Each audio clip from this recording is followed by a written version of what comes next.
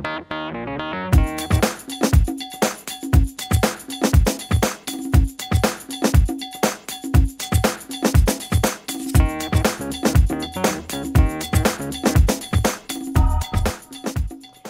qua. Allora ragazze, mi raccomando, eh, fate la spesa ma veloce. Mm?